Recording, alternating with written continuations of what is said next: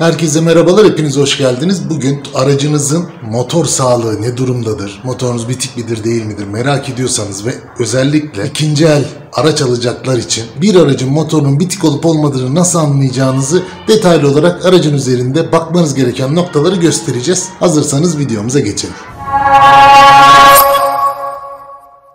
Öncelikle motorunuzun genel sağlık durumunun iyi olup olmadığını, bir eklefe gerekip gerekmediğini anlamamız için 6-7 noktaya bakmamız yeterli olacaktır. En, en kolay olarak ilk bakmanız gereken nokta motorun yağ dolum kapağı ve yağ çubuğunu çekip aracı rolantide çalıştırmaktır. Rolantide çalıştırdığınızda bu kısımlardan bir üfleme, buhar çıkışı varsa e, aracınız kompresör kaçırıyor demektir. Bunu nasıl kontrol edebilirsiniz? Araç rolantide çalışırken bakılır. Araç ortalama 2000-2500 devir gaz verilirken kontrol edilir, bakılır. Eğer bir buhar ya da basınç çıkışı yoksa basınç çıkışı her zaman olacaktır.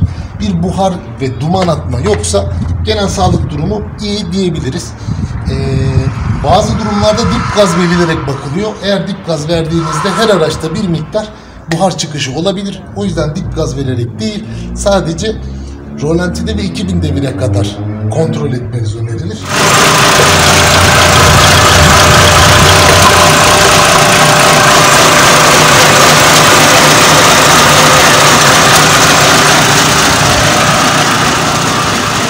Bir diğer kontrol edeceğiniz nokta aracın genleşme kabıdır. Genleşme kabımız ve motor yağ kapağımızdır yine. Buralar niye kontrol edilir? Araç motor yağına su ya da motor suyuna yağ karışıp karışmadığını bu şekilde kontrol edebiliriz. Genleşme kabını açtığınızda iç kısmında kahverengi köpük, kremimsi bir yapı varsa ya da suyun içinde yağ görüyorsanız motor suyuna motor yağı karışıyor demektir. Eğer böyle bir durum yoksa genel soğutma ve iç conta mekanizmaları normaldir diyebiliriz. Aynı şekilde yağ kapağının içine bakmamız gerekiyor.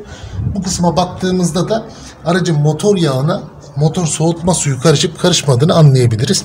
Yağ kapağının üstünde çevresinde köpükleşme, kahverengi kalıntılar, kremimsi kalıntılar varsa ya da kapağın iç kısmında motor yağınıza motor suyu karışıyor demektir. Bu da rektefe gerektirecek bir durum var demektir. Bir diğer bakmamız gereken noktada aracın egzozu.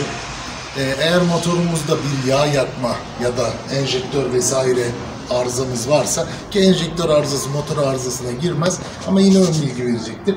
Aracımızda bir yağ yakma varsa e, bunu da iki farklı yöntemle anlayabilirsiniz ki yağ yakmada rektefe gerektiren bir işlemdir. Aracın egzozuna bakarsınız. Rolantide ve 4000-5000 devire kadar gaz verdiğinizde araçtan siyah duman ya da beyaz duman atma varsa aracınızda bir yağ yakma e, özellikle beyaz dumanda bir yağ yakma olduğundan söz edebiliriz. Bazı durumlarda rolantide bir süre bekledikten sonra yağ yakma artar. Bazı durumlarda da araç ilk çalıştırdığında yağ atma artar. O yüzden aracı ilk kez çalıştırdığınızda ilk egzoza bakmanız ve bir süre rolantide bekledikten sonra gaz verip yine egzoza bakmanız tavsiye edilir. Bu şekilde aracınızda yağ yakma var mı yok mu onu anlayabilirsiniz her renk dumanın farklı anlamı vardır az önce söylediğimiz gibi.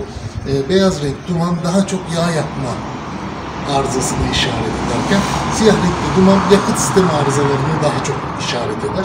O yüzden beyaz renkli duman var mı yok mu ona bakmanız tavsiye edilir. Ayrıca yağ çubuğunu çekerek yağ miktarını düzenli aralıklarla ölçmelisiniz. Eğer araçta yağ eksiltme varsa, görünür bir yağ kaçağı yoksa araçta yağ yakma olduğunu bu şekilde de teyit edebilirsiniz. Bir diğer motor sağlığını kontrol edebileceğiniz nokta da aracın çalışma sesidir.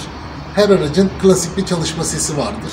Eğer bu ses harici kulak tırmalayan şıkırtı, kazıma sesi ya da bu benzeri ses varsa bir lokurtu tarzı sesler varsa bu tarz sesler motor arızası olduğunu işaret ediyor olabilir. Yalnız bu tarz sesleri araç kullanıcısı olarak sizin teyit etmeniz pek de mümkün olmayabilir. Çünkü kayış, kasnak, bilye gibi aksamlardan da ses geliyor olabilir.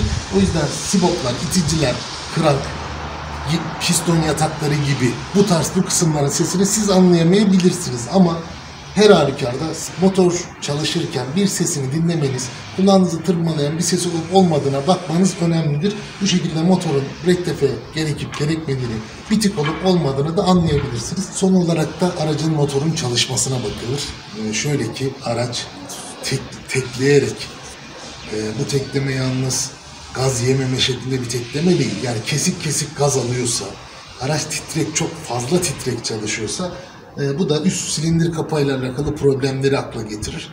E, aracınızın çalışmasında bu tarz sorunlar varsa e, ki bahsettiğim gibi rolanti sorunları, gaz yememe, stop etme gibi sorunlar bunlara dahil değildir. Bunlar yardımcı ekipman arızalarından, bobin arızası, buji arızası gibi sorunlardan kaynaklı olabilir. Bizim için has motor içi arızasını göstermesi önemli. O yüzden eğer aracınız kesik kesik gaz yiyorsa, çalışması ve gaz yemesi anormal şekilde farklı ve yavaşsa motorunuzun bitik olduğunu işaret ediyor ya da bitmeye başladığını işaret ediyor diyebiliriz.